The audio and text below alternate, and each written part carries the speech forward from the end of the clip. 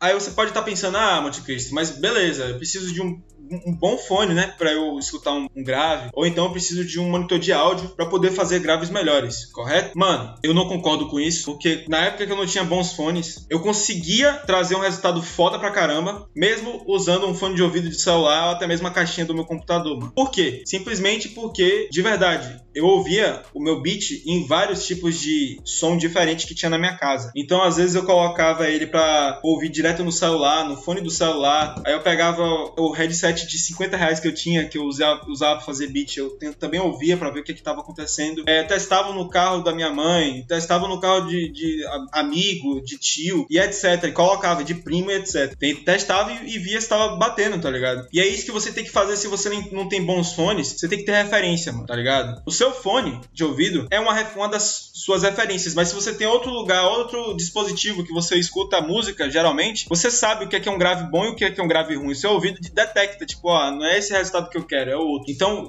ouve também vários tipos de caixa de som que você já tá acostumado, para você ter outras referências e aí você fazer os ajustes que você precisa, mano, tá ligado? Então, essa é a solução para quem não tem fones de ouvido bons ou acha que precisa comprar alguma coisa de, de alto valor monetário para ter graves bons. Não, não é verdade, mano.